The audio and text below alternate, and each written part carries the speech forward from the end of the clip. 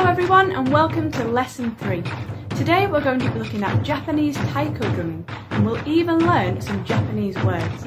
Remember, don't worry if you don't have a drum at home, you can always use different objects around the house and you can also use your own body to make percussion sounds.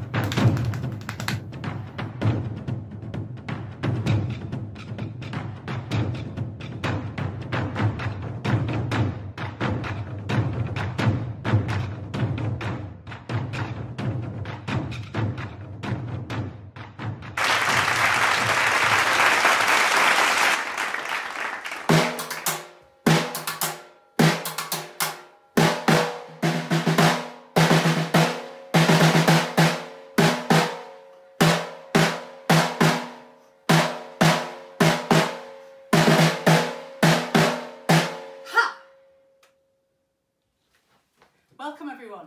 This is Japanese taiko drumming. Taiko drumming is another word of drum. So taiko actually means drum in Japanese. So taiko drumming is very, very important in Japanese culture. It is used at the start of all their celebrations. It's used in prayer. It's used at festivals. Lots and lots of places would use taiko drumming. It's the national music of Japan. So taiko drumming is very physical and it demands a lot of concentration, but it's great fun. So first of all, we're going to do a little warm up. And the way that we have to drum in taiko is that we have to stand in a certain way. Your left foot goes forwards and your right foot goes backwards. Slight bend of the knee. And that is called the stance. And the stance is really important because it keeps you balanced and it also means that you can drum for quite a long time and you don't really feel tired. So when you approach your drum, I've got a snare drum here, but it could be any drum, or it could even be a chair or a washing basket. I'm using a snare drum today uh, just to help with the sound. But when you approach your drum, you need to stand in that stance. So practice that a couple of times, stepping forward, stepping back and bending. And then you feel really strong and ready to drum.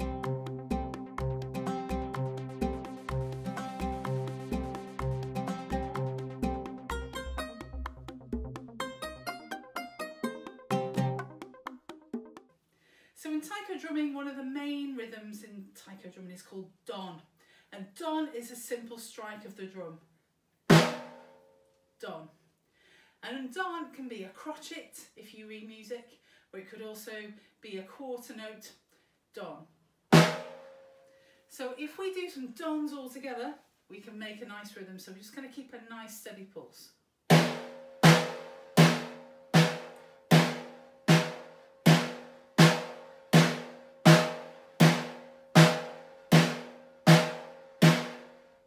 Excellent.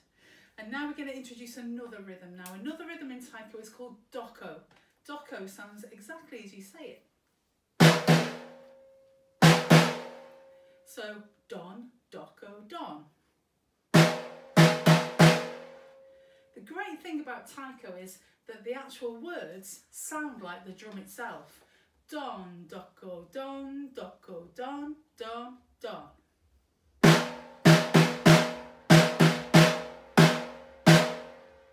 Can try that too. So we'll do this in our warm up.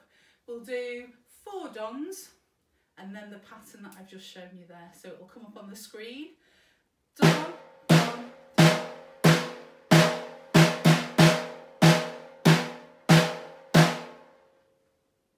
Okay, we'll do that again.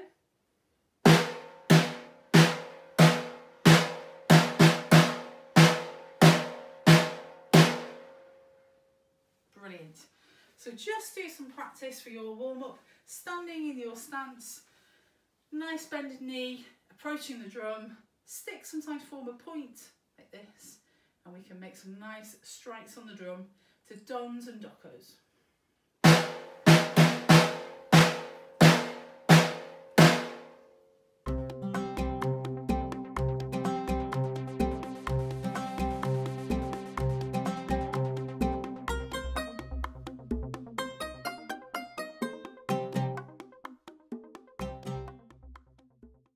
Another great warm up in taiko is just to do quite a fast doko rhythm.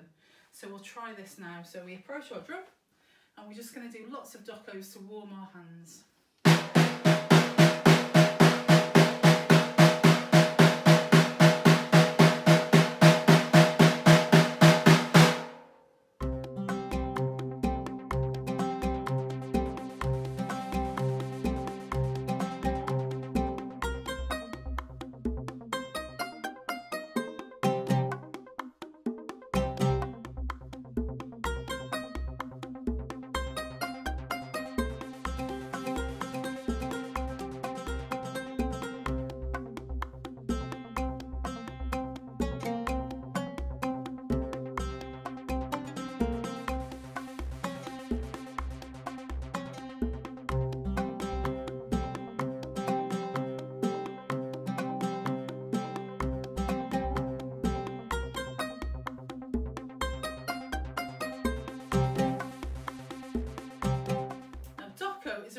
Important rhythm in taiko drumming. Also, a really important rhythm is a silent beat.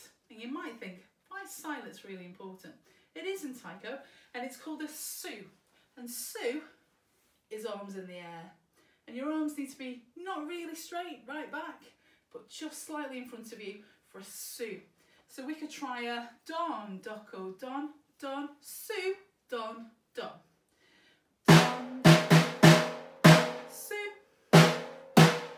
So su is really important and it's a silent beat. So reaching up in the air for su and coming down to play the drum. As I said before, it's really important to say your rhythms. So don, doko, don, don, su, don, don.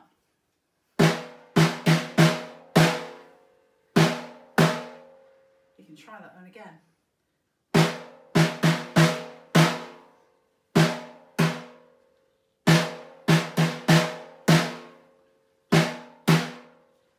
Often in taiko drumming, the drummers will say the word su really quietly.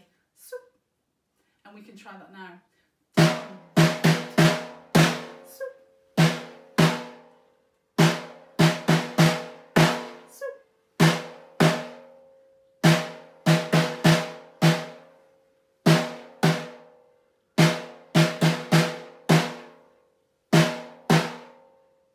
And that's our little warm up of taiko. So our first taiko piece uses dons, dokos and soreis. And it goes like this. Don, doko, don. Don, doko, don. Don, doko, don. Don, su, don, don. Don, doko, don. Don, doko, don. Don, doko, don. Don, su, don, don.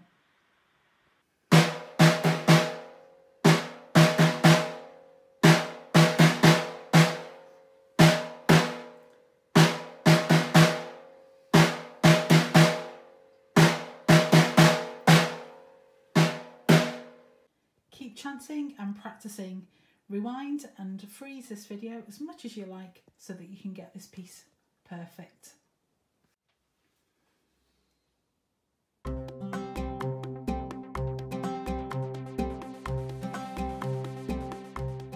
So before we play our taiko piece, we usually say a command. It's sore. And in Japanese, that means off we go. It's a way of counting in so that everyone is together. Usually in taiko drumming, you'd have a whole group of people playing at the same time as you. And if you've got family or other people in your house who would like to play some taiko drumming, you can get them involved. So we're going to say sore now to, to count in our piece. So we find our stance and we say sore and then we start to play. So this time we'll play our piece again and we'll say sore as an introduction. Here we go. Sore.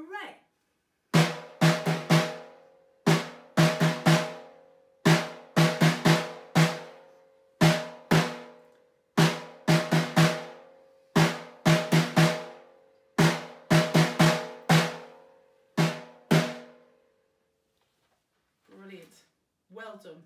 And now we can learn some other taiko moves which are really good. But before we do, we're going to learn a tiny bit of Japanese language. Usually in music we count people in. You might have heard one, two, three, four, and people know when to start. In Japanese we say ichi, ni, sore. Ichi just means one, and sore is off we go. Ichi, ni is one, two, sore, off we go. Ichi, ni, sore just gives a sense of the pulse of the music, of how fast it's going to go or how slow. So this time when we count in, we'll say ichi, ni, sore. Here we go. Ichi, ni, sore.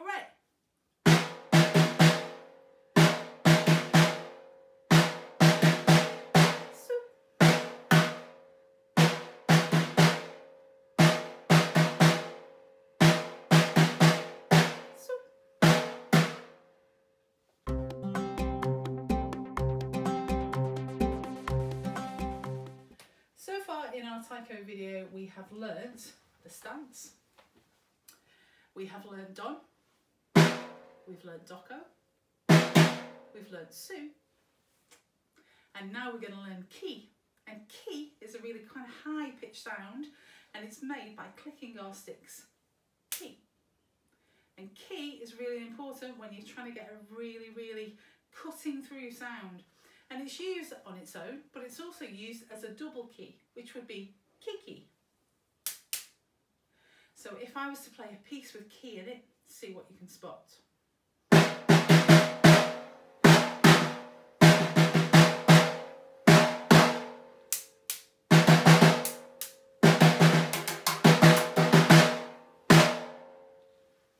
So the kiki sound is a really high pitched sound. So you can try that on your drumsticks if you have some.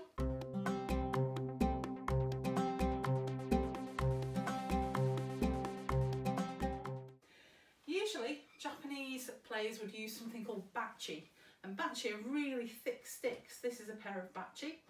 I'm not going to use these bachi today because I'm worried about my drum if I do so, but these are really thick. They're almost like a rolling pin. So try not to use drumsticks that are too heavy on the wrong drum. So I'm just using some sticks today, some rods, and that's going to make a different sound. But if you can imagine a lot of people playing big drums and using huge bachi, the sound of taiko is immense. So you can find some videos on YouTube. If you type in Mugenkyo Taiko Drummers, they are a brilliant taiko drumming group from Scotland and you'll be able to see lots of their videos.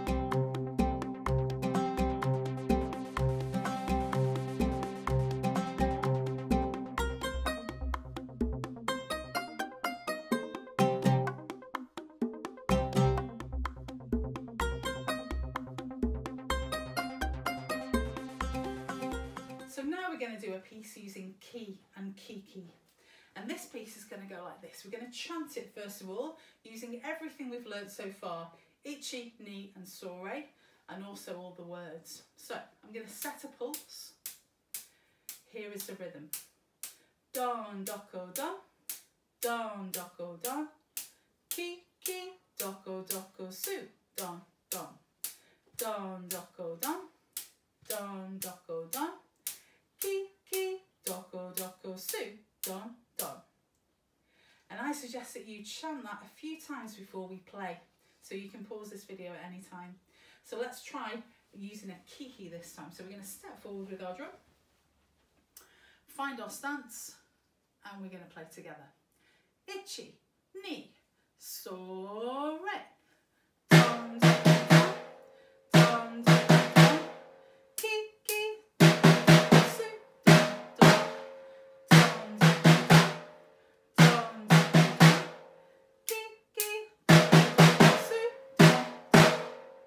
How did you get on? I think maybe rewind the video, have a little go over and over again and see how you get on.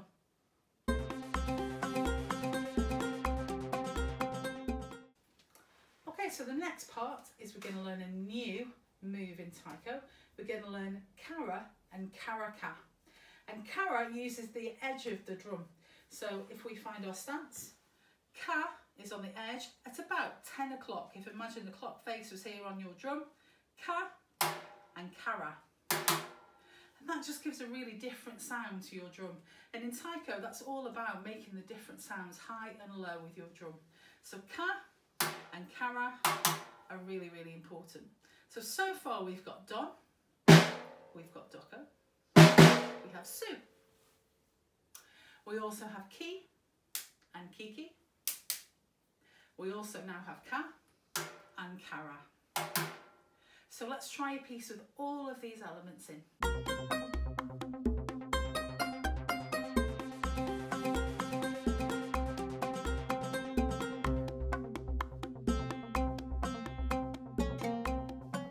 Here we go. So the rhythm of this, if I keep a steady pulse, don, doko, don, don, doko, don, don, doko, don, don, su, don, don, ki, ki, doko, doko, ki, ki, doko, doko, kara, ka, kara, ka, su, don, don.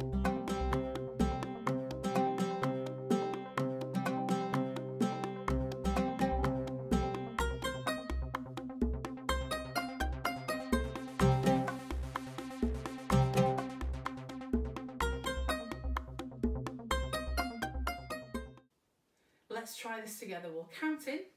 It's quite hard, so don't feel that you have to do the whole song all in one go. It's absolutely fine. So we start, find our stance. We'll count in. Ichi, ni, so,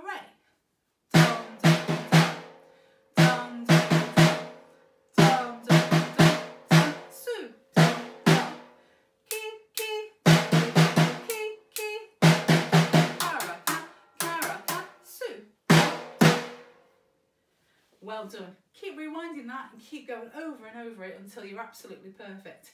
Keep chanting. You'll notice when I'm chanting that I make different sounds with my voice. Ki, ki is up there somewhere. Doko, doko is down there. So it might help when you're saying your rhythms over and over again that you make those sounds and then they'll go into your head and you'll be able to play much better.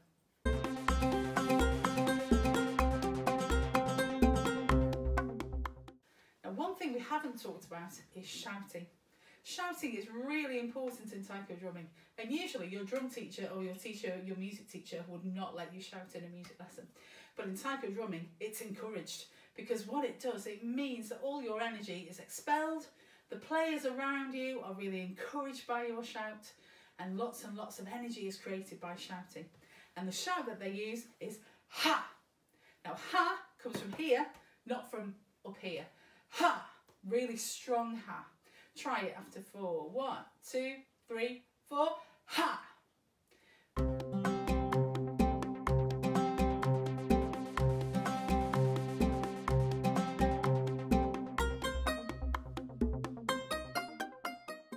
So this time in our piece, we're going to play our piece together. At the end, we're going to put in a big shout. So it's going to sound like this. I'll play it for you first of all. Ichi, ni, so, re. Dum, dum!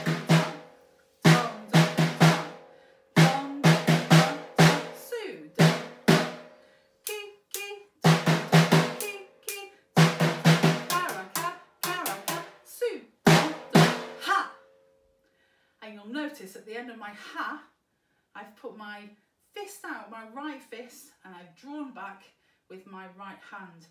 A lot of different type of players do different has. Some ha, some ha, and they pull back. It doesn't really matter. You can make up your own ha. I quite like this one because it's quite forceful. So ha is a really important shout. Let's try that together. Let's find our stance and let's play our piece. Ichi, ni, so, re.